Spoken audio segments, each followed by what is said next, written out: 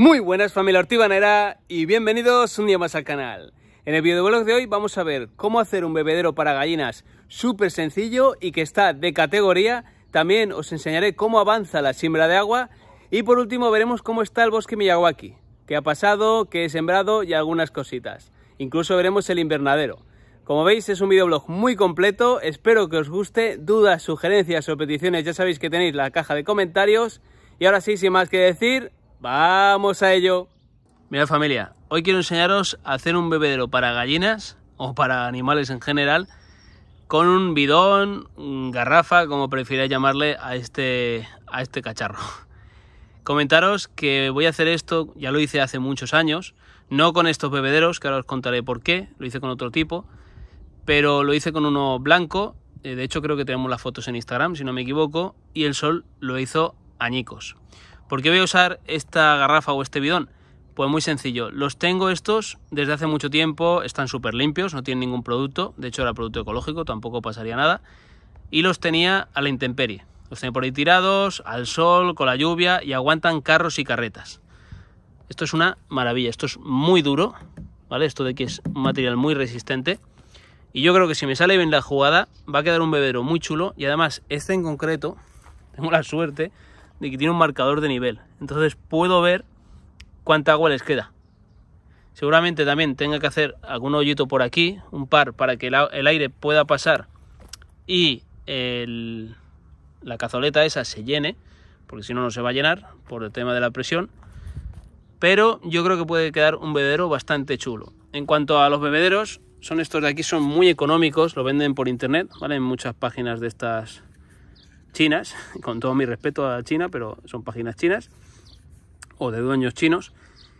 Y la novedad es que no tienen un pezoncillo ahí dentro que la gallina tiene que ir picando para que gotee, porque a las mías eso no le gustaba.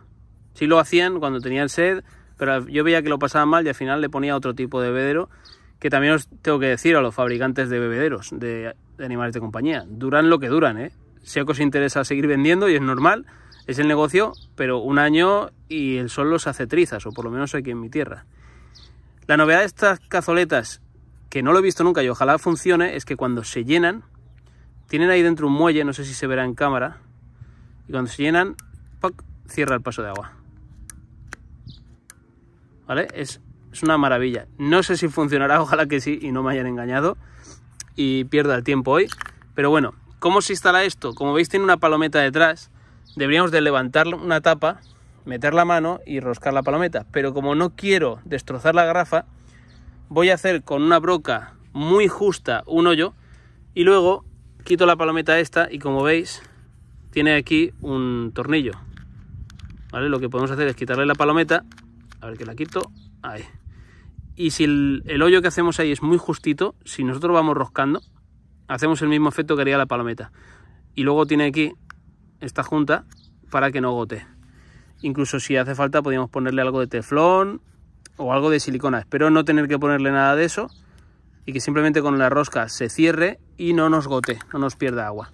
Pero bueno, voy a por el trípode, voy a por el taladro, voy a poner dos en los laterales, uno supongo que por aquí y en este lado no voy a poner nada porque es el nivel y así lo tengo libre para ver cuánta agua queda y supongo que se verá bastante bien. No lo sé porque esta garrafa la tengo un montón de años y nunca me había fijado que esa línea blanca servía para ver el nivel ha sido una novedad que he descubierto esta semana y dije, pues ya está, ya tengo candidata para los bebederos de las gallinas. Voy a hacer los agujeros, pongo los bebederos y lo ponemos a prueba porque la voy a llenar y vemos qué pasa.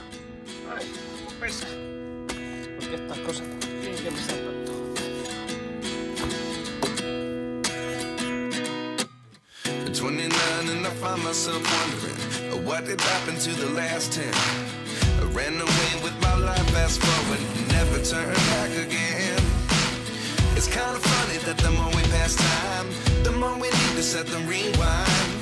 And 19 was the year I had to leave you, but now I'm seeing all the signs. Is this really happening? I can't believe it's true. I'm just as surprised as you.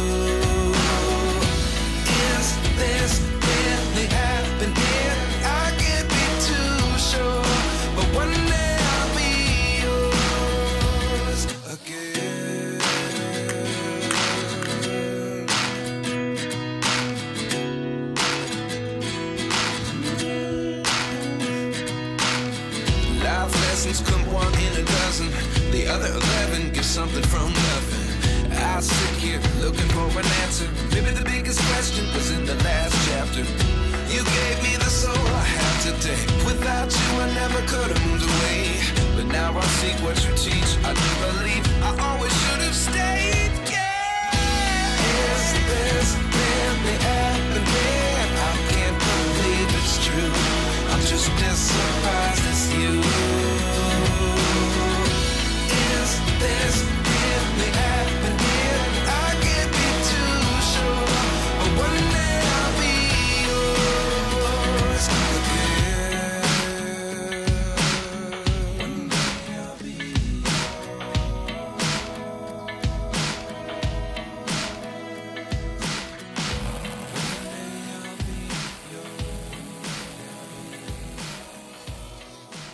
Mira familia, esto ya está. Le he puesto unas varillas porque no estaba recto y entonces se vaciaba. De hecho aún sigue estando ligeramente inclinado hacia mí. Pero si está recto no se vacía. Funcionan perfectamente las cazoletas, lo cual me alegra muchísimo porque tenía mis dudas. Y si las vaciamos, vamos a poder ver cómo... A ver si lo puedo vaciar con un dedo. Dos mejor. Así. Se vuelve a llenar. ¿Veis? Se llena hasta que toc y cierra. Es una maravilla, funciona perfectamente, me he quedado muy contento con el resultado. Más contento aún de no tener que ponerle teflón, ni cola, ni silicona, aunque si fuese el caso, pues se pone y ya está. Mira, se acaba de encender el riego ahora mismo, porque estoy escuchando los goteros.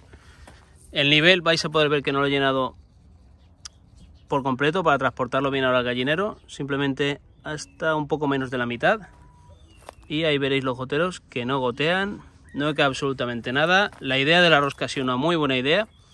Los he puesto a ojo. Si queréis hacerlo más profesional podéis medir. Yo los he puesto simplemente a ojo, a ojímetro, como me enseñaron cuando estudié para forestal. Una cosa que me he olvidado es poner alguna lona, así que ahora me voy a entretener recogiendo los plastiquitos. Es fallo mío. Eh, si ponemos alguna lona luego estos plásticos se quitan muy bien. El hoyo lo he hecho después, que también se me estaba olvidando. Y una cosa que quería deciros, que lo ideal sería que este depósito estuviese a la sombra, aparte de para que dure más años, para que no se caliente el agua, sobre todo en verano, o si no poner algún tipo de sombreo. Y por otro lado, no lo he hecho a propósito, les he dado una altura para que la cazoleta pueda apoyar y descansar cuando esté llena, ¿vale?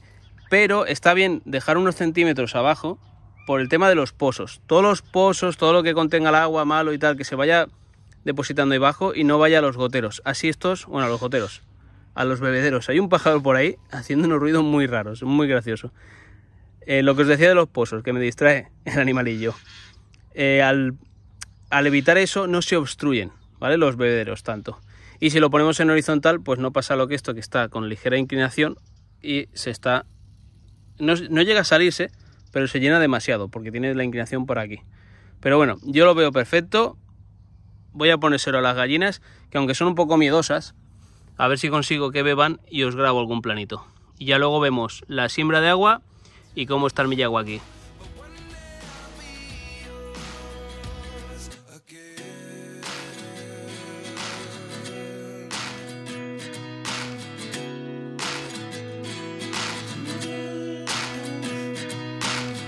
Life lessons come one in a dozen.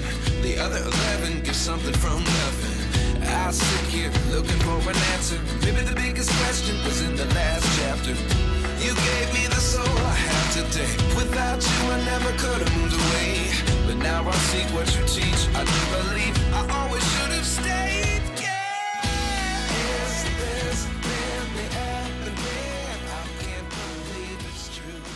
Bueno, con nuestra ayudanta Cora vamos a ver cómo está la siembra de agua. Más que ayudanta, yo diría que es la jefa, que nunca trabaja. Y quería comentaros luego, cuando os enseñe cómo está la siembra, algunas cositas, una pequeña reflexión que creo que es muy importante y me gustaría que por favor me escuchéis. Si os apetece, claro. La siembra de agua. Han pasado poco más de tres meses y esto está así. Diréis, Iván, ¿qué ha pasado? Pues yo os lo explico. A las dos semanas de hacer la siembra de agua, yo noté que aparecía esta humedad. Como veis, la zona, el entorno, está seca, pero dentro del hoyo está muy húmeda, llegando a estar incluso mojada. Hola. Ahí. ¿Qué pasa? Se pone, si me agacho, pues se pone para que la acaricie. Veréis que la zona de dentro, como os decía, está mojada. De hecho, si escarbamos vamos a poder verlo, ¿vale? Esto es el entorno. Tiene una ligera humedad porque está relativamente cerca, pero si me aparto vais a ver que no. Esto por ejemplo de aquí, a ver si puedo romper con la mano porque la tierra está muy dura. Mira, esto está sequísimo, esto es polvo. Pero si escarbamos por aquí dentro, que no quiero profundizar, vais a ver, mirad, que esto está, es que esta me mancha, esto está mojado. No empapado, pero sí con una humedad que esto empezó a ocurrir, y os lo prometo por mi padre, que en paz descanse, a las dos semanas. Yo vine a las dos semanas, bueno, yo en verdad venía todos los días. Toma con un palito. Toma. Yo venía todos los días, porque cuando haces un experimento, o bueno, en mi caso, cuando hago un experimento soy muy curioso, como cuando hago una siembra, me asomo al semillero todos los días hasta que de pronto, ¡pum!, sale la plantita. Pues a las dos semanas es cuando apareció la humedad y yo pensé, bueno, vamos a ver otro hoyo para que veáis. Yo pensé, ¿será el rocío? ¿Será una condensación aquí por la forma, por el hoyo en sí? Pero no, eh, yo no creo que sea eso, porque si fuese el rocío, fijaros las piedras que están fuera y las que están dentro, ¿vale? ¿Cómo cómo cambian. No quiero escarbar mucho porque pienso que si mezclo yo los ingredientes o hago alguna alteración, seguramente eh, se perjudique la siembra de agua. Pero bueno, yo creo que salta a la vista, porque a veces el ojo humano ve mucho más que, que cualquier cámara, pero salta a la vista la humedad que se genera en el entorno y la que no hay fuera directamente. Aquí creo que se ve muy muy bien. De hecho hay piedras fuera, ya no sé si han sido los conejos, algún animal, algún pajarito, o Cora, porque a veces deambula por aquí, esto creo que lo ha hecho Cora. Pero se ve la humedad de fuera y la sequedad, o sea, la humedad del entorno del, del hoyo y la sequedad de aquí. Esta es la actualización que os puedo hacer de la siembra de agua. Mucha gente me habéis dicho que puede tardar de uno a dos años o incluso más. ¿Qué voy a hacer con esto? Pues muy sencillo. En principio lo que voy a hacer es que voy a poner plantas, ya que también me habéis puesto mucho en comentarios que la salinidad de la zona se puede ver aumentada y tal. Vamos a poner plantas para ver cómo prosperan aquí. Pondremos una planta en cada hoyito, no en el hoyo, sino al lado, para ver qué pasa. Y la reflexión que os quería decir sobre esto, que por cierto, fijaros que cráter se formó aquí. La reflexión que os quería decir es que en la cajita de comentarios de este vídeo hay comentarios de todo tipo. Comentarios muy positivos, eh, animándome, dándome las gracias por por hacer experimentos y traer cosas nuevas al canal, intentar siempre todas las semanas sorprenderos de alguna forma. También comentarios dándome algunos consejos, contando su experiencia, que lo habían probado y les había funcionado, y me parece genial, porque dependiendo de la zona, pues aquí en montaña, yo ya lo dije, puede ser más difícil, pero en una zona llana o con algunos acuíferos, pues puede ser que funcione perfectamente. Luego están los comentarios negativos, ¿vale? Los comentarios donde sí que me tengo que poner un poco más serio eh, donde insultaban a mi gente, a mi comunidad, a mi familia, que sois vosotros, incluso a mí. Y a la gente se le hace la boca a veces muy grande con el tema de la salud mental y yo os voy a dar un consejo con esto. A la hora de que veas un vídeo y no te guste, sea de quien sea, ¿vale? Me da igual que sea mío o de quien sea. Ves un vídeo y no te gusta, vete a ver otro. Cómprate un saco de boxeo y dale de puñetazos. Pero no pongas un comentario negativo porque no sabes cómo está esa persona, no sabes su situación, no sabes su trayectoria, su trabajo, no sabes si ese día está mal, ¿vale? Y, y perdona que me ponga tan serio, pero no sabes cómo está ese día y no sabes cómo va a terminarlo. Y puede ser que tu comentario sea el detonante de algo muy serio, de algo que te vas a arrepentir toda tu vida. Así que mi consejo es que si no te gusta, le das una manita para abajo, cierras, te desuscribes, te vas a pasear, te vas a pegarle un saco, te vas a ver otro vídeo, te pones música, te relajas, pero no pongas un comentario feo. Y ahí lo dejo, ¿vale? Perdona que me haya puesto muy serio con esto, pero me parece un tema que poco se habla de él y deberíamos de tener muy en cuenta. Lo dicho, voy a poner unas plantitas. Si queréis eh, decirme, ya sabéis que estos vídeos siempre os hago peticiones de este tipo, decirme en los comentarios si os gustaría que veamos más actualizaciones de la siembra de agua. También ponedme en los comentarios si se aprecia, por favor, porque yo en la pantalla no lo veo bien pero yo creo que sí que se ve. De hecho, en la tierra se ha visto bastante, pero decidme si se aprecia la humedad que se genera y también qué os ha parecido la actualización con el tema de la siembra de agua. Y bueno, ya sabéis que cualquier petición que tengáis, bienvenida es. Vamos a ver el bosque de alimentos Miyawaki, a ver cómo está en este tiempo. Vamos con una actualización del invernadero y el bosque Miyawaki. Es un bosque muy especial que vimos hace poquito, como hacerlo en el canal. La verdad es que todo va creciendo bastante bien y está cambiando mucho. En primavera esto realmente tiene que ser un espectáculo. No os preocupéis porque vamos a hacer un seguimiento durante varios meses. Siempre que me estéis preguntando por él, pues lo vamos a ver. En el momento que me digáis, ya no me interesa, pues no lo vemos. Pero bueno, tiene que ser una maravilla. El invernadero, si recordáis en ese vídeo, no lo vimos, o lo vimos muy por encima porque lo tenía bastante abandonado. Así que, para que me choco con la puerta. Ahora le he dado un poco de caña, tengo aquí mis experimentos, los semilleros. También he puesto rabanitos en el bancal elevado, fijaros. No he puesto en todo el bancal porque era una barbaridad de rabanitos. Si sois fieles seguidores del canal sabréis que la primera vez que puse aquí rabanitos puse por todo el bancal. Ahora solo he puesto en los dos laterales. Para distinguirlos más fácil o saber dónde los tengo, aquí tengo el rabanito redondo, que es algo picante. Y aquí el, el rabanito de punta larga, que no pica tanto, pero también está muy rico. Diréis, Iván, eres un bestia, has puesto muchísimos, tienes que hacer repicados. Sí, pero es que los repicados los uso en ensalada, que están deliciosos, no tiro nada. Y también eh, pongo tantos porque lo de la familia. La familia está enganchada a los rabanitos. No penséis que yo soy. que mi alimentación es a base de rabanitos y nada. Y nada más. Luego en esta mesa tengo algunos experimentos, es que, que voy haciendo y que si os fijáis veréis que van saliendo poco a poco. También aquí tengo esquejes de sauce llorón que me traje de Madrid. Que si os enseño las raíces vais a alucinar en colores. Esta planta es increíble, no lleva enraizante, no lleva absolutamente nada para enraizar, porque esto donde caiga como pille agua sale automáticamente solo. Mira, voy a sacar las raíces, porque yo creo que a través del agua no se ven. A ver, mirad, mirad qué maravilla. A ver si enfoca. Mirad, es brutal. Es importante que el nivel no baje mucho, porque si se quedan fuera sí que se pueden secar. Ahora las colocaré bien, que con una mano me es imposible. También aquí en este lado estoy pensando hacer como un mueblecito, seguramente lo haga yo de madera, o si lo encuentro muy muy barato, pues quizás lo compre. Porque si os fijáis veis este cable que es para una batería y las placas las puse justo ahí detrás. No sé si ya estaban la otra vez, pero bueno, ahora las enseñaré desde fuera. Y esa placa no tiene nada que ver con eso. Esa placa la he puesto yo, va por aquí el cablecito y es para tener luz por la noche por si vengo al invernadero para algo que se enciende esta automáticamente. También la puedes encender con el mando, pero bueno, lo suyo es que se encienda cuando, cuando es de noche porque es cuando no ves realmente. Y poco más que contaros del invernadero. Vamos a pasar al Miyawaki. Fijaros. Hay muchas zonas. Hay que hacer el invernadero cerradito. Hay muchas zonas donde lo vais a ver novedades, pero es porque está bajo tierra. He puesto bulbos, de estos que hacen flores increíbles. También he puesto aquí espárragos, justo delante del invernadero. Luego por aquí, esto lo marqué para no pisarlo porque hay más espárragos.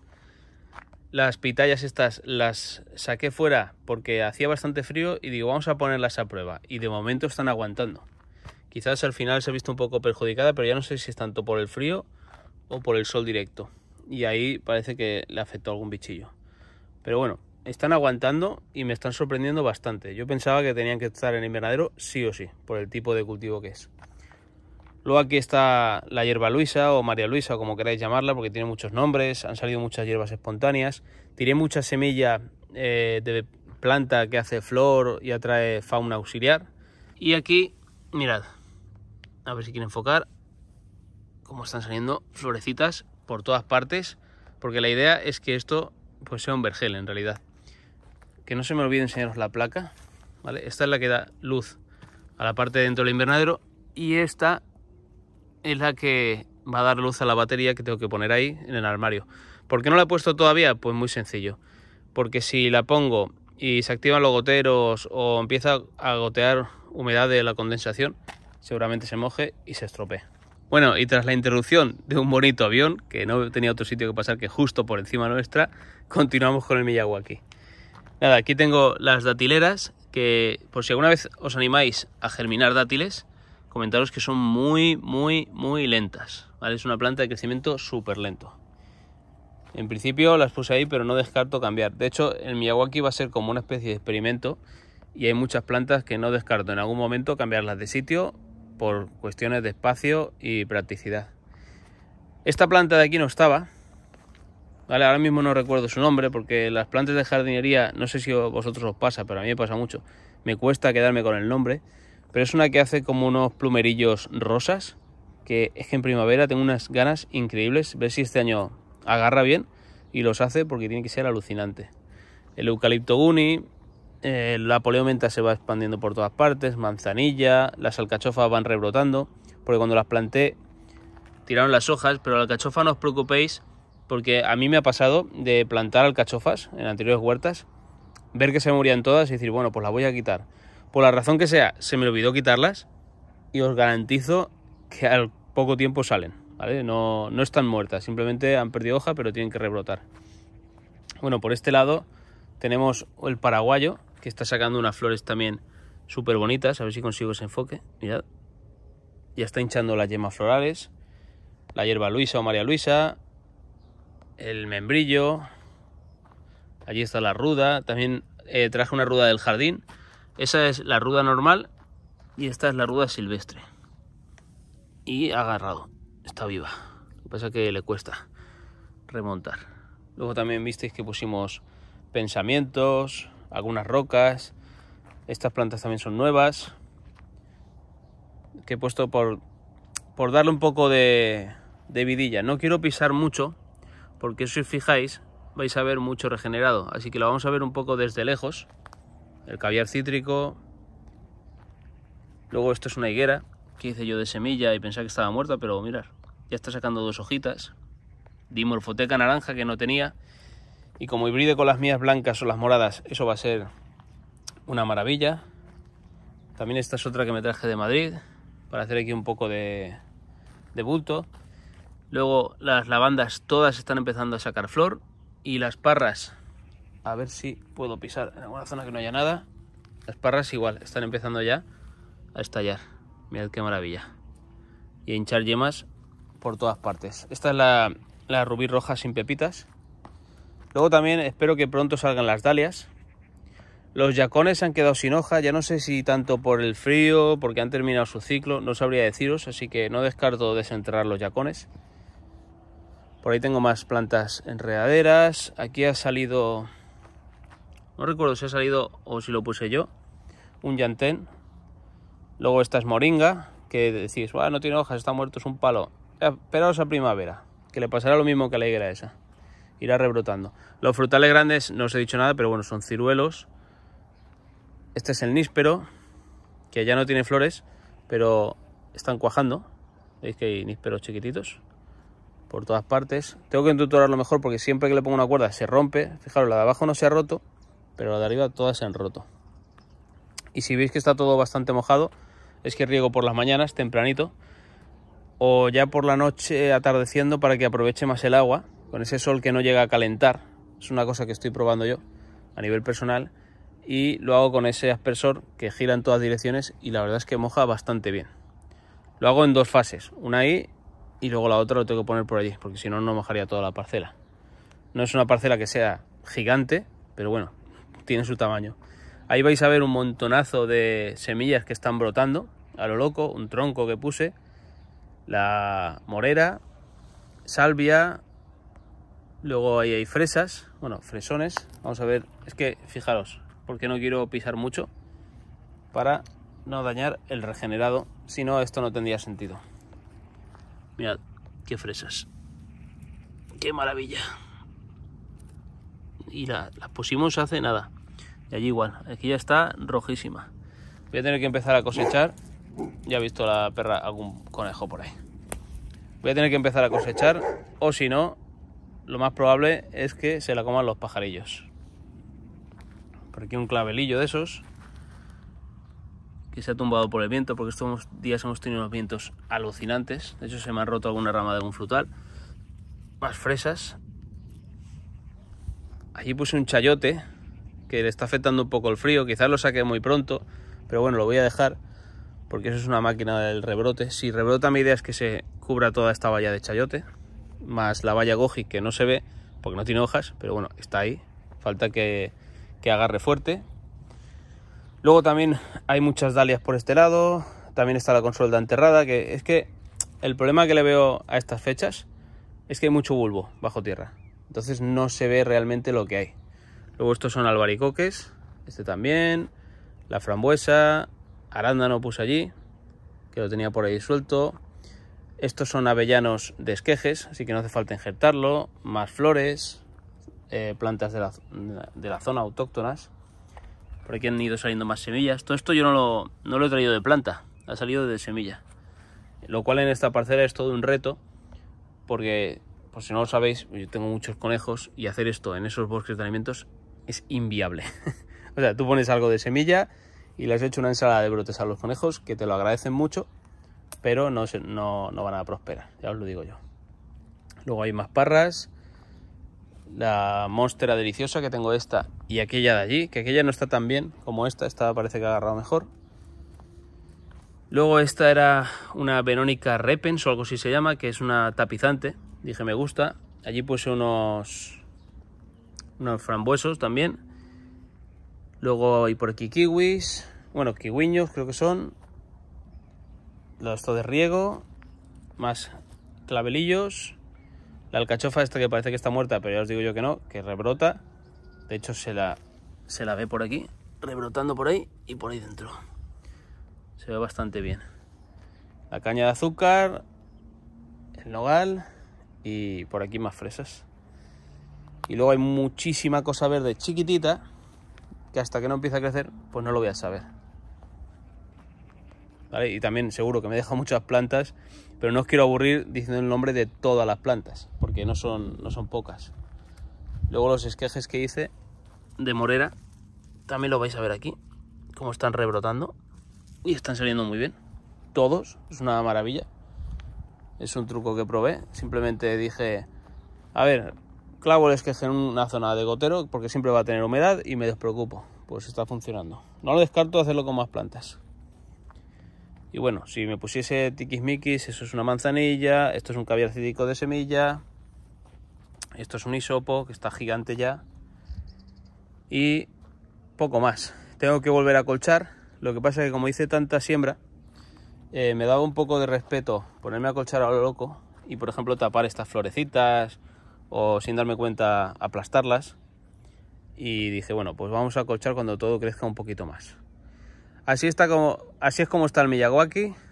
Yo creo que es una actualización importante.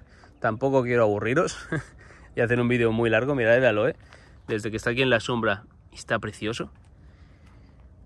Y nada, ya me diréis qué os parece el bosquecito en los comentarios. Y sobre todo decirme si queréis que en primavera cuando salgan las dalias, las consueldas, todos los bulbos de flores que he puesto y todo, cuando todo empiece a brotar y a cubrir más, los árboles estallen en, en flor y hojas, si queréis que en primavera hagamos otra actualización del Miyawaki, ponedmelo en los comentarios.